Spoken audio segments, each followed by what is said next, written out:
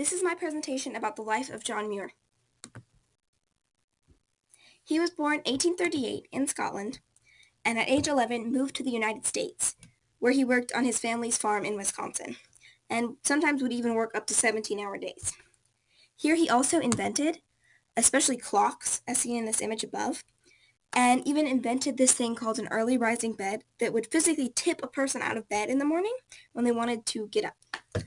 And this talent with mechanics got him a job as an engineer in a factory in Indianapolis. But pretty soon after, he got an eye injury that left him blind for two months and caused him to give up his stable job and to pursue a life of adventure and travel, and landed him in Yosemite Valley. He, in this valley, developed his theory about how the valley was created, which he believed was by glaciers during the Ice Age. And at this time, the geologists and researchers ridiculed his theory, but as time went on and modern research was introduced, uh, it was found out that his theory was actually closer than any of these other researchers of the time.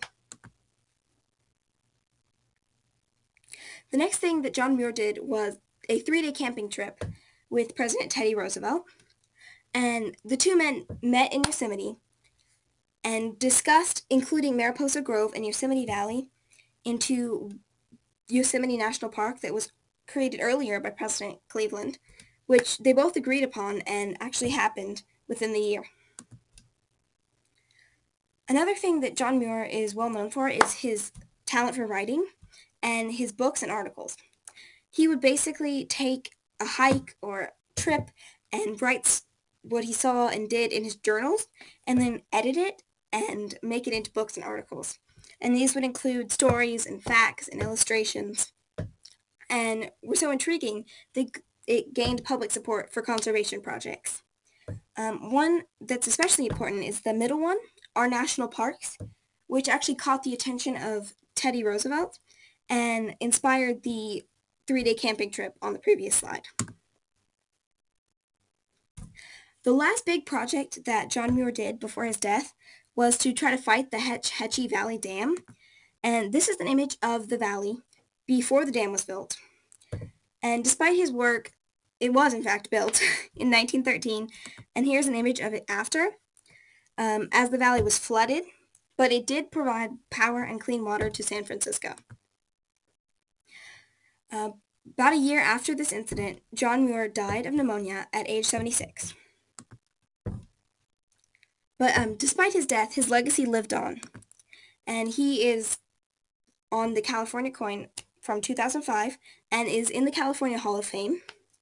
He also is well known for his work in getting national parks established and the club that he founded in 1892 called the Sierra Club, which mainly focused on land preservation and did a wonderful job as 431 parks and or monuments were created um, up to basically 2015.